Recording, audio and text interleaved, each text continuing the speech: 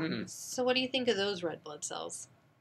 Mm, they are strange shapes. Like this little one looks like a mouse or something. See his little ears, his little tail, tiny little foot.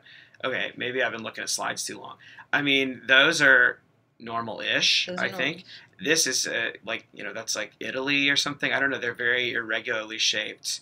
And then these are platelets, right? Those are platelets. Are they bigger than usual, or is that is that okay? They're slightly bigger than usual, but in order to call a giant platelet, it has to be the size of a red cell. So I will point out that there are some elliptocytes and ovalocytes on the slide, and this is actually a patient who had a history of hereditary elliptocytosis that developed hereditary pyropoikilocytosis after his he got a transplant. Pyropoikilocytosis. Pyropoikilocytosis. So pyro like flame. Okay. Um, so the red cells become um, stable at higher temperatures and Oh.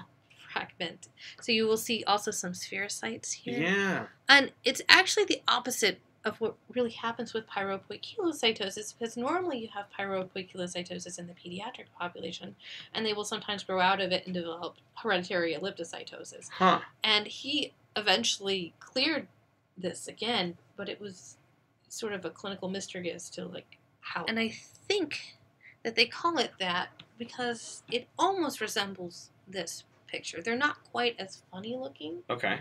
but this is what you see in a burn patient. Oh. But these are very, very, very small microcytes. And they're not, these are the spherocytes. See how they have no central pallor? And they're darker color, right? Because the hemoglobin's all bunched up together, I guess. And see, the central pallor remains here. So they're not Oh, yeah. fragments. They're just really, really small microcytes. Huh. And that is one of those, like, they put this picture up and they would expect you to know that this is a burn picture. a Okay. burn patient. so those are microcytes. So micro Like micro microcytes. micro microcytes. Not even like iron deficiency mi- or thalassemia microcytes. They're smaller so than that. small. So, So, so little small. little tiny donuts. And then also having spherocytes, does that go along with burn too? Yes. Okay. Interesting. So I'd expect the RDW on this patient to be quite high. Because you've got tiny and big and everything in between, right? It's a range. Okay. Although these little tiny ones may get counted as platelets Because they're so of small, red yeah. blood cells, so you might have to adjust your platelet count. Okay.